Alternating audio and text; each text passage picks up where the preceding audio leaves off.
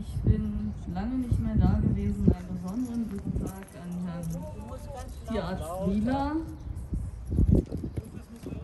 Sie haben Anfang Dezember 2020 ja gesagt, dass Menschen im zeitlichen Zusammenhang mit der Impfung versterben werden.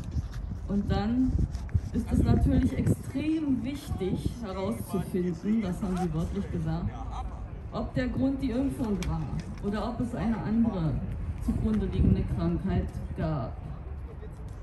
Ich habe intensiv recherchiert und ich habe gesucht nach Obduktionsberichten, nach irgendwelchen Ergebnissen. Und außer einer österreichischen Krankenschwester, die bestätigt wurde, die durch den AstraZeneca-Impfstoff gestorben ist, habe ich keine klaren Ergebnisse. Herr Wieler, könnten Sie dazu irgendwas mal veröffentlichen? Denn wie ich das von einem Freund erfahren habe, der in der Pathologie arbeitet, gibt es da auch einen erheblichen Druck, eben gerade keine Obduktionen zu machen.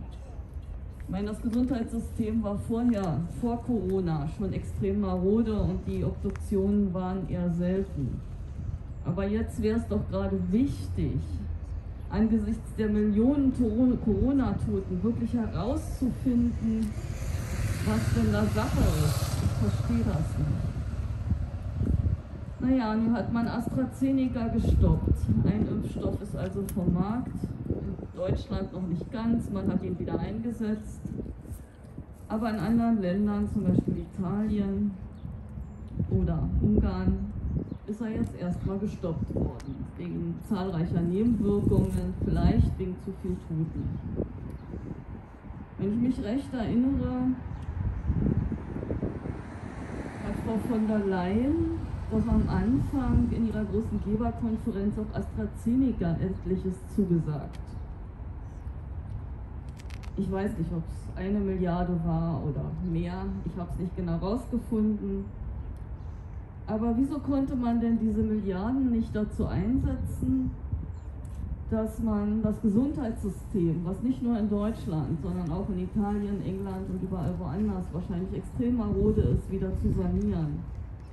Warum musste man die skrupelloseste, tödlichste und teuerste aller Möglichkeiten wählen, indem man die Pharmakonzerne subventioniert? Naja gut, also AstraZeneca scheint aus dem Rennen zu fliegen. Bill Gates ist sicherlich der Gewinner. Aber da gibt es ja noch einen Impfstoff. In Russland, Sputnik 5. Kann es sein, dass AstraZeneca aus dem Rennen fliegt, weil die mit den Russen zusammenarbeiten wollen? Ich will hier nichts für den russischen Impfstoff für sagen, weil das ist auch ein Vektorimpfstoff und er hat auch seine Typen. Aber in Russland ist zumindest noch keiner gestorben und die Nebenwirkungen halten sich in Grenzen. Und die Impfung ist weitestgehend freiwillig. Es wird also nicht so ein erheblicher Druck aufgebaut. Warum wird dieser Impfstoff nicht zugelassen? Wieso impft man uralte Menschen? Und wieso ist die Impfung bei uns nicht freiwillig? Ich meine, wer geimpft ist, der ist doch sicher. Naja, es soll nicht so sein. Und vom EU-Rat hat ein guter Mann, der sicherlich auch nicht gewählt ist, gesagt, wir sollen uns nicht blenden lassen von den bösen Russen und den bösen Chinesen. Er sprach von Russland und China. Wer sind denn wir? Und er sagte, ich zitiere, beides sind Regime mit Werten, die weniger erstrebenswert sind als die unseren. Ist das so? Wie gesagt, an Sputnik 5 ist zumindest noch keiner gestorben. Auch Italien und einige andere EU-Länder, auch darunter wieder Ungarn, Spanien überlegt, die haben kein Problem mit Russland Geschäfte zu machen oder mit dem Impfstoff zusammenzuarbeiten. Aber es gibt auch Menschen, so wie mich, die überhaupt nicht geimpft werden wollen. Und es gibt Menschen, die aufgrund von Vorerkrankungen Angst haben müssen, an der Impfung zu versterben. Wieso gibt es diesen Zwang? Wieso werden Kritiker, die einfach auch nur Fragen stellen, sozial und wirtschaftlich zum großen Teil vernichtet? Wieso müssen die Grundrechte immer noch ausgesetzt werden? Das Weimarer Gericht, das Verwaltungsgericht hat festgestellt, dass es nie eine Lage von, eine epidemische Lage von nationaler Tragweite gab.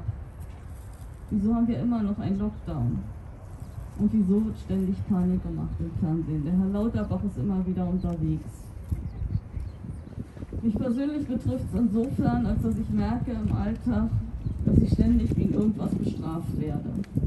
Bestraft auf einer Maßnahmen, Verordnungs, Konglomerat, keine Ahnung. Jedenfalls, es gibt keine gesetzliche Grundlage. Ich muss irgendwelche Strafen bezahlen oder ich kriege irgendwelche Ordnungswidrigkeitsverfahren.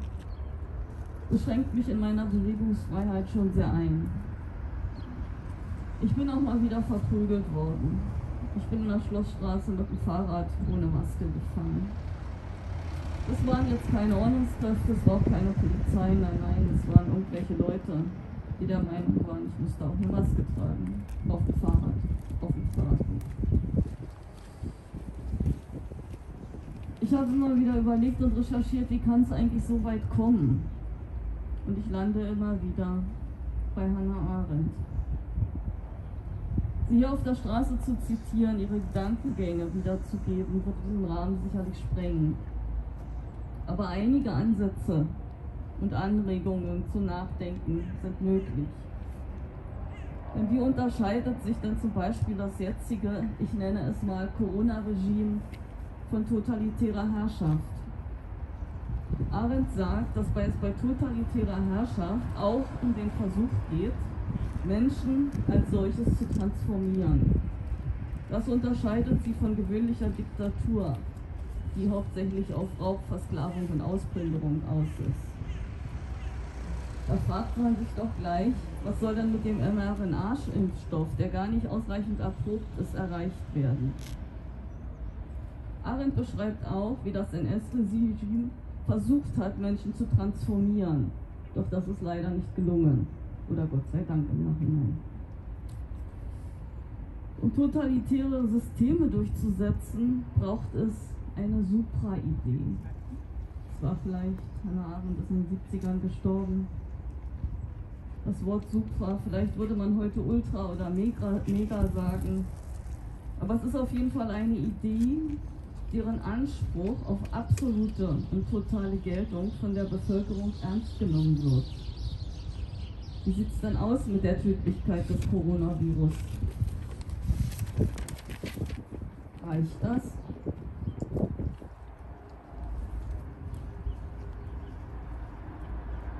Ich leide jeden Tag unter Kontaktbeschränkungen, Masken, Lockdowns. Ich kann nicht mehr in meinen örtlichen Buchladen gehen, weil die Dame vor lauter Angst stirbt, obwohl wir uns schon 20 Jahren kennen. Um Gottes Willen, um Gottes Willen.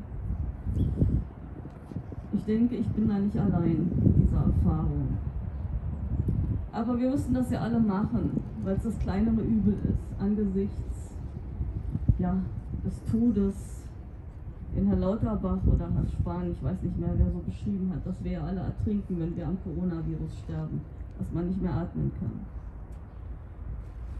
Auch das kleinere Übel hat Hannah Arendt ganz gut aufgegriffen, denn es ist wie eine Konditionierung.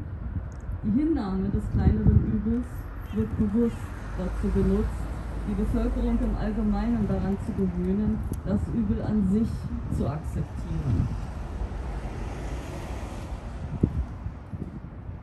Denke, das sollte ich an der Stelle fast mal stehen lassen. Wollen wir alle das Übel akzeptieren? Überhaupt. Als ganz normales Ding im Alltag. Es ist ja nur das kleinere Übel. Bei dieser Recherche bin ich auf was anderes Interessantes gestoßen, was ich nicht wusste. Und zwar hat Adolf Hitler tatsächlich über die Einführung eines Volksgesundheitsattestes nachgedacht und das auch vorgeschlagen. Durch staatliche Röntgenuntersuchungen sollten alle Kranken, besonders Herz- und Lungenkranke, erfasst werden. Wozu brauchen wir eigentlich einen elektronischen Impfpass, den wir an jeder Grenze vorlegen sollen? Arendt forderte dazu auf, passiven Widerstand zu leisten und sich vor allem verantwortungslos zu verhalten. Also keine Masken und keine Abstände. Dankeschön.